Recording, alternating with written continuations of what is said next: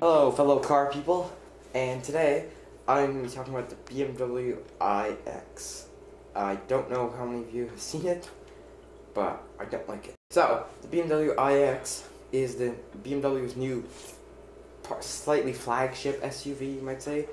It's electric, all electric, 500 horsepower, 0 to 60 in 5 seconds, and 375 mile range, which are all impressive numbers. It's about the size of a BMW X5. The styling is very, very questionable. I'll, I'll put some pictures up on the screen about it because it's got some very controversial styling cues. And the, the designers say they started thinking about the styling with because of the with the interior. Well, I guess they forgot about the exterior and just slapped something on. I don't like the way BMWs are going, but the grill is not needed actually. It's too big. I think, if you ask me. I, I it looks like the grill in the new 4 Series, being expanding all over the place now. It doesn't actually need a grill because it's electric. I would prefer that they just not had a grill and gone for a cleaner look like Tesla. The taillights are too skinny for me. I think SUVs' taillights should be more substantial.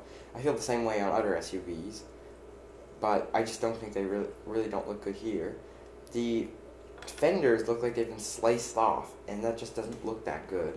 I don't know why BMW went for that. They claimed about comfort and relaxation, but I don't really think so.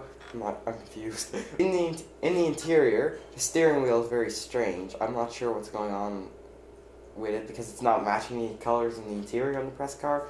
I'm not sure what's going on, but it doesn't really matter. The interior looks really nice though. It looks very plushy. I've seen the uh, interior in a top level X7. That's a very nice interior. This looks similar in that level.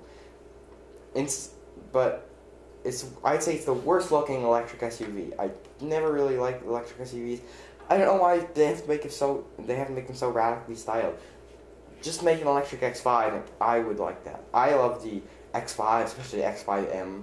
I'm a performance guy, but I really don't like the way BMW styling is just going. I don't think it looks good.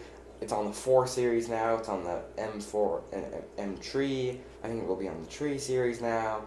All these these weird angles and stuff. The grills are just getting bigger and bigger and bigger. You look at them on the E30 BMWs. They are very, very small. I don't know what they were thinking when they designed it. I'm not sure why they would style it like this, but I'm not sure. Drop in the comments if you wonder why why they style it like that. Oh, I would rather have an X5M. Put in the comments what SUV you would rather have. So that that's it for today's video. Subscribe if you want to see videos about fish and animals and cars, and because I'm, I'm a fan of them all. And I will see you in the next video.